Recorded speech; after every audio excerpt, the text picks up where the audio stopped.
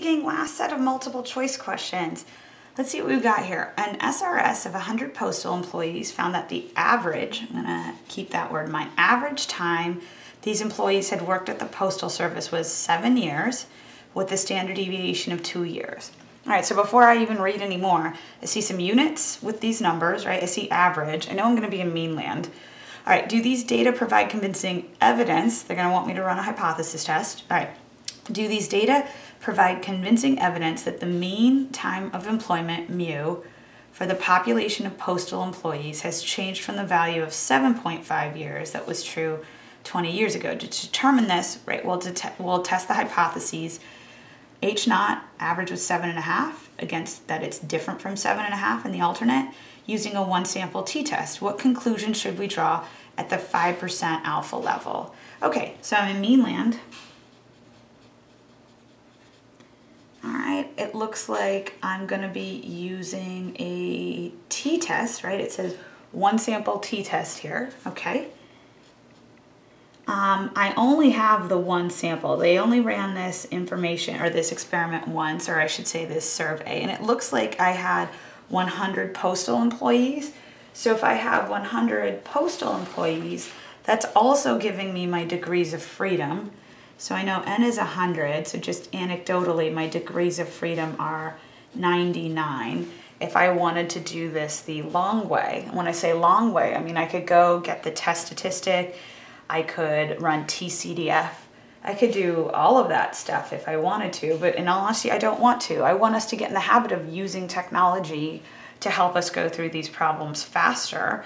So let me go ahead and do that. I just need to figure out if there's evidence one way or the other. All right, so let's let's see if I'm gonna reject or fail to reject. So let me clear this out. I'm gonna go over to my tests. Now, I'm not in proportion land, I'm in mean land, so I'm definitely not gonna use five or six. It's these first four that have to do with meanland, but specifically three and four, those are when we have two samples at a time. We're not gonna experience that till we get to chapter 10. So I get to decide between one and two, and I was actually directed to use a t-test here. And again, some stats folks will say, well, since you had at least 30 employees, you might as well use the z-test. I, I just, I don't buy that. So we're gonna go t-test.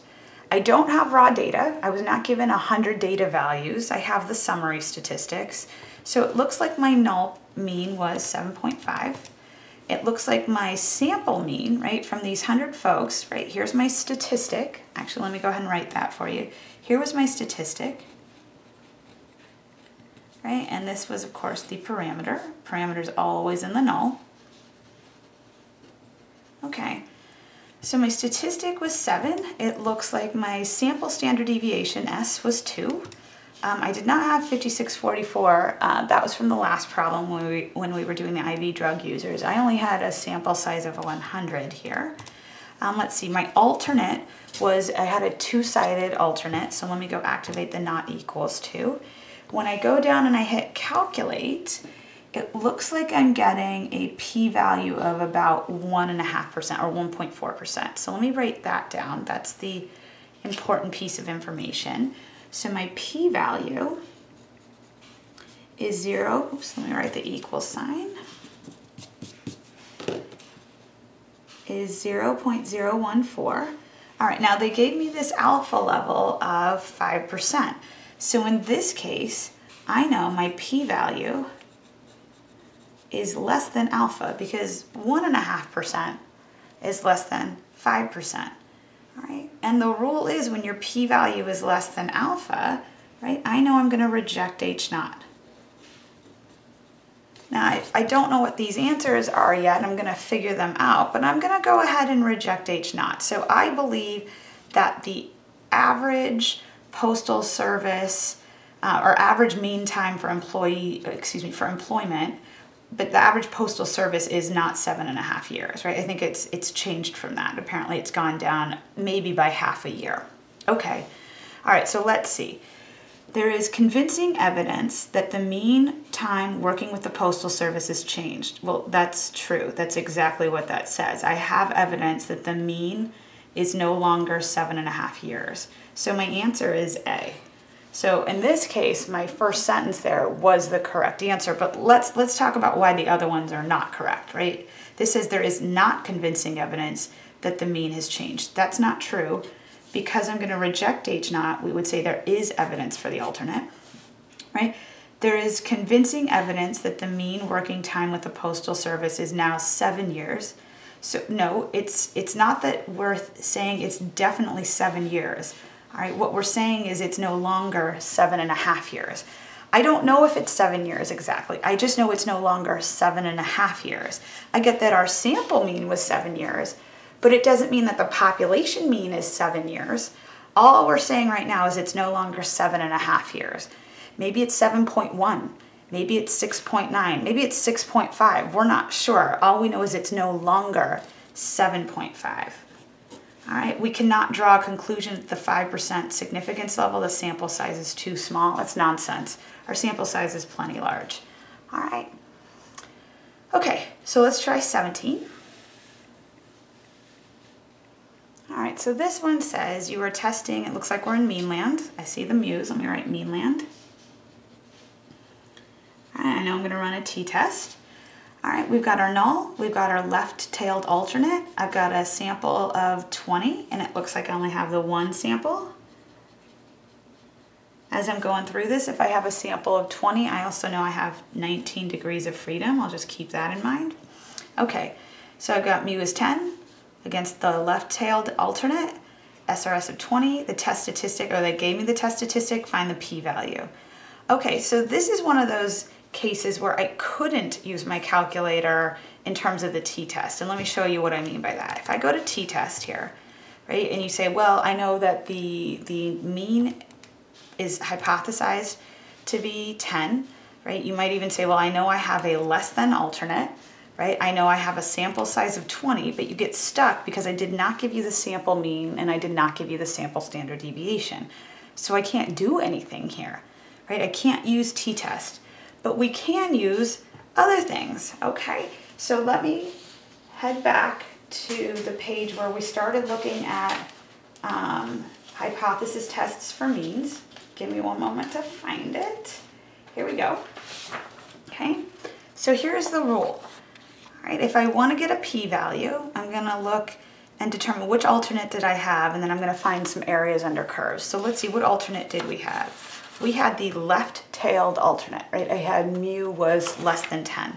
All right, when you have a left-tailed alternate, you need the area under the t-curve to the left of the calculated t-value. Okay, so let's see what that would wind up being for us. I'm gonna draw a picture first, just so I can gauge it that way. I always like to draw a picture just so I have like my gut feelings going on in terms of what this will look like. So I'm gonna draw the t-curve, looks a lot like the z-curve.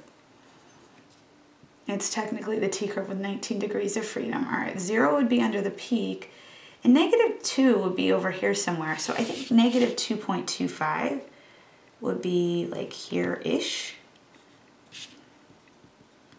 And I need to go to the left of that. So it's not much area, right? It should be pretty small, but then if I look at my boundaries, these are all pretty small, right? Is it between one and 2%, two and 5%? 5 and 25%? Is it greater than 25%? Well, just looking at this, this is not greater than 25%. So I know D isn't my answer. Based on the way I graphed it, I'm, I'm thinking it might be between 2 and 5%, but I'm also not the best drawer. So I'm, I'm going to test this out, okay? So if we go back to what this said, right, we need the area under the curve to the left of the calculated test statistic.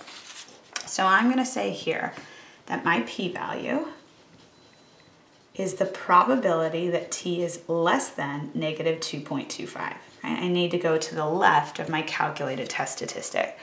And we learned in this chapter that if I want to pick up area under the curve, I'm not going to use normal CDF because I'm not on the z-curve. I'm going to use TCDF. And we need three pieces of information. We need low, high, and degrees of freedom. Well, my low is going to be negative infinity. My high is going to be negative 2.25, and I had, there it was, 19 degrees of freedom. So let's see what my, my p-value is. I'm going to get out of this since I can't use it. We're going to distributions. I'm gonna go TCDF. All right, we had negative infinity, negative 2.25, and I had 19 degrees of freedom. So it looks like my p-value is about 0.018.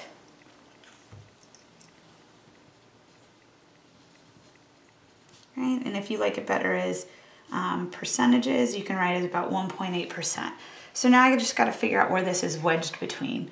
All right, is 0.018 between 0.01 and 0.02? Yeah, it is.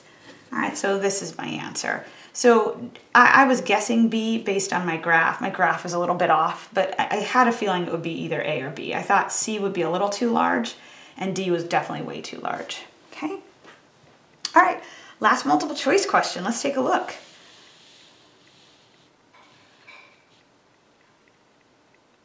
All right, let me get it in view. There we go. All right, so this is a 95% confidence interval for population, all right, mean is calculated here. So I'm gonna just take note, I know I'm in mean land. I'm gonna use a t-test statistic. I know because I'm in chapter nine, I only got the one sample. Okay. Assume that conditions for performing inference are met. So I got through normality, I, I, got a random sample or a sample that represents my population, I know my sample standard deviation, I'm ready to go on that front. What conclusion can we draw for a test of this two-sided alternate at the 5% significance level based on a confidence interval. Okay, so we got a whole bunch of information there. They gave us this confidence interval, but they also set us up with a hypothesis test. Okay, so I've mentioned this before, that when you have a two-sided alternate, which we do, it is equivalent to a confidence interval as long as the alpha level and the confidence level add up to 100%. And they do in this case because 5% plus 95% equals 100%. All right, we saw a version of this in proportion land when we were dealing with the fishermen um, who were suspicious that the lake owners, uh, the, the lake owners were claiming 80% of the fish met the minimum length requirement and the, the fishermen were like, mm, I don't think so. We constructed a confidence interval for that, but that was in proportion land. So we're going to approach the same idea, but in mean land. All right, so what this confidence interval is saying is I think mu is between 1.7 and 5.3. All right, that's the confidence interval estimate, right? It says mu is somewhere in here. So based on that confidence interval, what do we think is true? Do we think the null is true? Do we think mu is 2? Or do we have evidence, sufficient evidence that mu is different from 2? right? If we look at the question, it says, what conclusion can we draw for a test where we have mu being 2 against the two-sided alternate? All right, so let's look at this. Can we draw no conclusion? That's what this is saying. We can't draw a conclusion. We cannot draw a conclusion at the 5% level since this test is not connected to the 97.5% confidence interval. And again, it has nothing to do with it being 97.5 because this is 95% and this is 5% and those add up to 100 this is not our correct answer. Okay? None. Confidence intervals and significance tests are unrelated procedures. That's also false. They're very connected. As I was saying, if you have a confidence interval and a two-sided alternate, right? Two-sided, they're connected as long as the alpha level and the confidence level add up to 100%. So just as a counterexample, let's say this was a 2% alpha and this was a 98% confidence interval, they'd be connected, okay? If this was a 10% alpha and a 90% confidence interval, they'd be connected. But if this was a 5% alpha like it is, and this was a 90% confidence interval, those are not connected, all right? But this is not true. All right, are we gonna reject H naught or would we fail to reject H naught? So let's think about this. Do we think it's possible that mu is two, okay? Or do we think mu is different from two? Well, they told me mu is between 1.7 and 5.3, right? So if I was gonna look at the number line, we got 1.7 to 5.3. Well, what's right in between that? 2. So do I think mu is 2? It's sure possible, right? According to my confidence interval, 2 is right inside that interval. So because 2 is inside this interval, we're going to keep the null, right? Keep it. Or how we would say it in stats terms is we would fail to reject H naught. So in terms of what's correct here, D is going to be my correct answer. All right, so because 2 is in our interval, I'm gonna fail to reject H naught. Now, just as a counterexample, even though this isn't the case here, let's say for some reason they had this, they had mu equaling six against not equaling six. If this was the case, then I would actually reject H naught because six was not inside of our interval, right? I did the confidence interval and said mu is between 1.7 and 5.3. That is different from six. Now, we had twos, so I'm gonna put back in the fail to shenanigans. So we'll put two, two, and we got fail to. But it always comes down to, was your hypothesized mean in the interval? If it was, fail to reject the, the null. If your hypothesized mean is not in the interval, then you're gonna reject the null. All right, so we're gonna do a little bit of summary in terms of what we've learned and we're gonna wrap up chapter nine.